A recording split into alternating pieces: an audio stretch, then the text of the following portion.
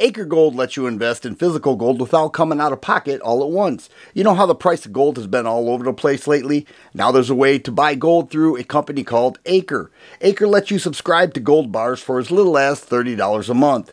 You pay each month, and once your gold stash reaches the price of their gold bars, they discreetly ship Acre Gold to your house. Just recently, Acre introduced a new $100 a month subscription to a 5 gram gold bar.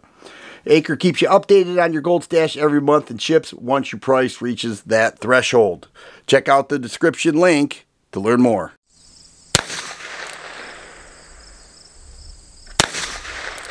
Hi, Dan.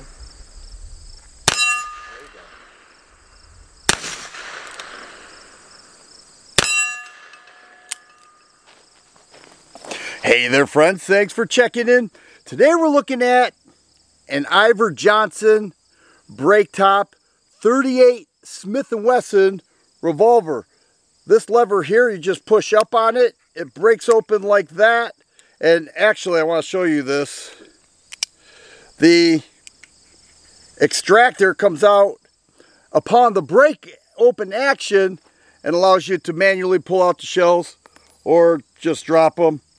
This review came together accidentally. All right, I, I originally picked this up from my father-in-law who found it in, in like an attic of a house that he bought. He said, you want this?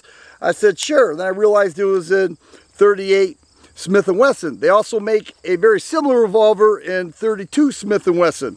But the reason it came together accidentally is because I was at Cabela's. I saw 38, a box of 38 for 23 bucks. I thought I was getting a deal with 38 special. Later I looked, it was 38 Smith & Wesson. So uh, I'm not the sharpest knife in the collection, but nonetheless, it gave me a chance to take out this. Now, you may notice it has tape around the grip. When I got it, it had no grips, so I have electrical tape here. It actually looks like the original with the, the black grip.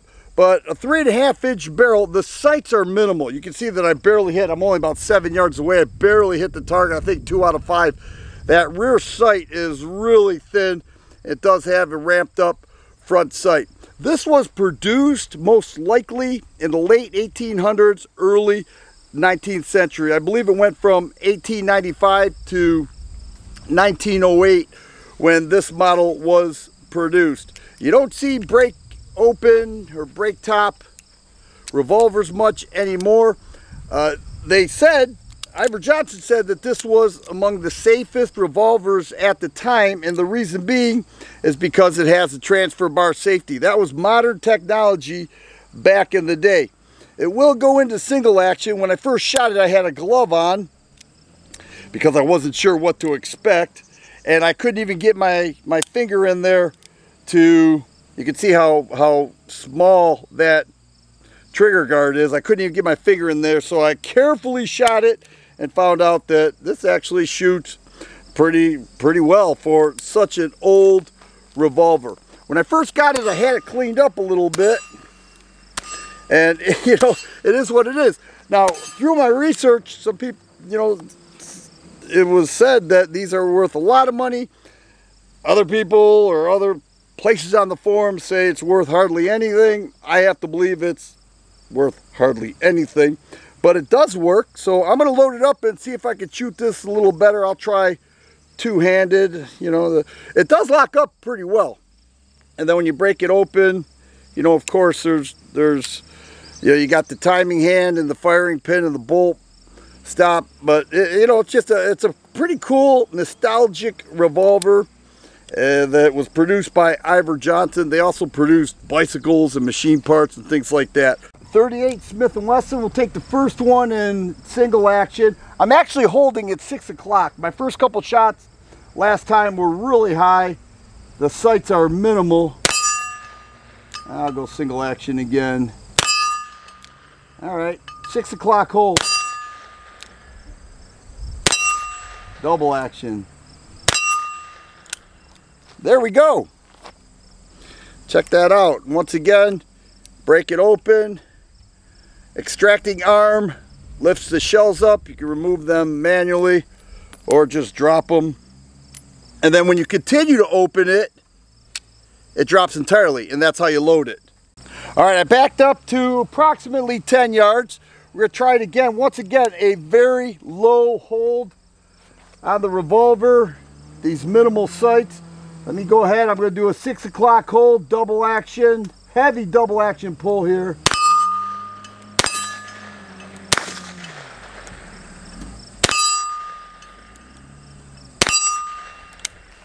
And there it is. Now, one of the greatest benefits of having a YouTube channel is the feedback from educated viewers. and I actually learned a lot. If you know much about this, please leave comments so I can learn more about this. I, I read up on it prior to this. I tried to study it, but there's not a lot of information out there. Not much at all, actually.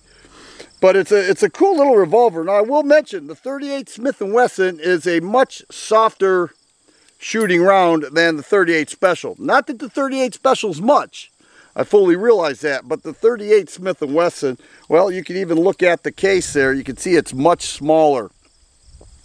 So there it is. Also, how do you like my tape job around the grip? Heavy double action trigger pull. And then the single action is not bad. I would say about seven pounds. But there it is. Iver Johnson break top 38 Smith & Wesson revolver. First time I got it out. I've owned it for about eight years now. And I accidentally picked up that ammo. And now I got to review it and have some fun shooting it. If you like videos like this, please subscribe and share. I always appreciate thumbs up button. Thanks for watching, and you guys be safe.